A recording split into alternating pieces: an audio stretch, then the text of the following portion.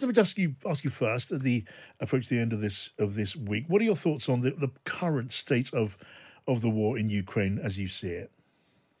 Well, there's a lot of there's a lot more of this um, awful campaign to play out at the moment, John, because the depth of both uh, Russian commitment to it and Russian capacity to continue to make a, a you know, a, a really grind, try and grind down the Ukrainian people remains immense. Uh, on an operational level, undoubtedly, the Ukrainians have worked wonders to stabilize the front and absolutely thwart the intentions of Russia to join up with the Crimea and across to Moldova. And at the tactical level, I think their tails are up at the moment.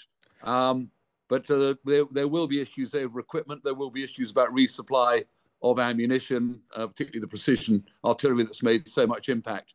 Um, so I fear this has got quite a long way to go through a very cold and rather grim winter. Yeah, I mean, it's you never quite know what to make of Vladimir Putin's latest pronouncements, but this week there he was saying Russia isn't mad, wasn't going to go suddenly launching nuclear weapons, but then of course left that idea in the in the air. You wonder what, what, what he's playing at at any, any given moment. Well, this is the dangerous thing, John. Even at the height of the Cold War, we had lines of communication to the hierarchy of the Politburo. Um, there were ways in which you could get on a hotline and just say, "What are we looking at?" And we all really want to de-escalate this. It's such a one-man show in many ways um, in uh, Russia that we are very, very uh, in, in, you know just just I won't say the mercy, but dependent on the mood swings of, of Putin. Um, what is interesting is he's now going back to uh, the, the rationale for invading Ukraine as a straight land grab. Um, the early stuff about Nazis and uh, Ukrainian threat to invade Russia appeared to have been absolutely di- ditched.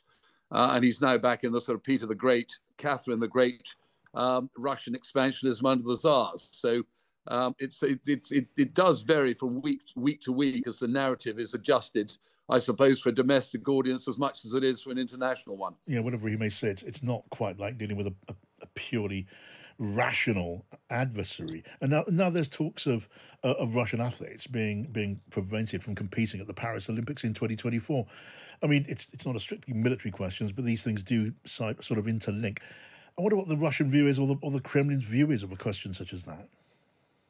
Well, I think that the, I think we've got to recognise that many Russians are still very, very firmly behind uh, Putin. Um, a bit like the Nazis before the Second World War, there's been an awful lot of indoctrination uh, and um, you know, for many Russians, this uh, you know the current failure in Ukraine uh, and some of the uh, you know the other implications that have come out of the uh, invasion just confirm a, a, deep sense of grievance, humiliation, and and anger with the West. So certain elements are going to double down on on this is just another another you know episode of Western Western arrogance with uh, with the great Russian people. Others will recognise it for what it is. You know, more confirmation that Russia's becoming a pariah state, really. Yes. What's your, as you weigh up the the state of each side's capacity to to launch its uh, its, its, its munitions at the, the, other. Where do you think we, we are? We've now seen the, the release by America in exchange for a, a, sports star of a famous, a world famous arms dealer. Now that's seen and described by some as being to the advantage of the Kremlin. They need people like this, this notorious arms dealer, because their weapons are running short. I wonder how serious you think that is for Russia. I, I think it is. I mean, I, I have my own views about um, you know, the use of hostages basically as, as, as collateral. We've seen it with Iran. Uh, China does it. Russia does it. It's it's a ghastly thing. And I, while I get the humanitarian instincts of Biden and uh, and the US, I, I I I really don't like the idea of, of, of trading deeply unpleasant people like Bout who could contribute to the Russian war effort, uh, even on humanitarian grounds. Um, I really think it's going to be interesting how Western solidarity holds up through a a, a, a, a long, cold, potentially winter, uh, when the economic results of um, sanctions coming back, uh, you know, the implications coming back onto Western societies begin to bite, uh, and how long we can keep political support and therefore public support uh, for continuing to assist the Ukrainians in in seeing off Russian aggression. Yes. So yeah.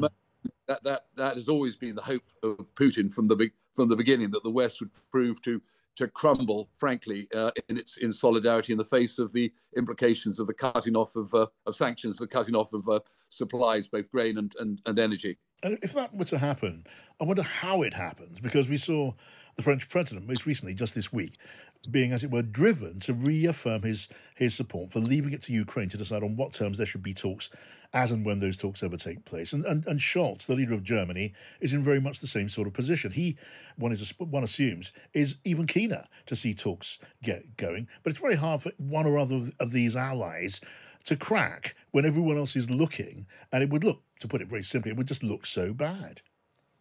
Uh, yes, it would. Um, and you know, sometimes we talk about Western solidarity or the NATO or the EU, uh, but you are as strong as your often weakest link. And I know, uh, you know, the Hungarian position on the price cap, which will come up within the EU, will will will probably be a bit shaky. Will that allow them to have?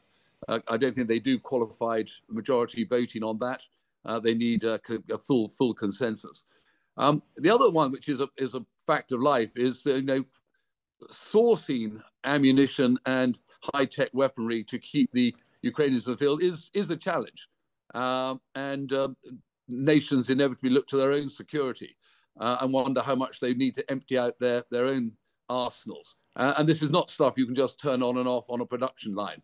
Um, it is up to a point, but it, there's there's a there's a lead time. Yes. So quite a lot comes in, and the, as we say, Russian history proves how uh, resilient that society can be for the long for the long haul. Yes. But it, yes. it reaches a stage where historically we've seen it be quite fragile when it reaches a certain tipping point. Well, meanwhile, it's got Western leaders thinking about their own supply of military, military uh, of munitions and, and ordnance, and how, it, were it to come, God forbid, to some sort of major conflict, where the question becomes live and, and, and relevant, could NATO countries sustain a conflict for any any significant length of time?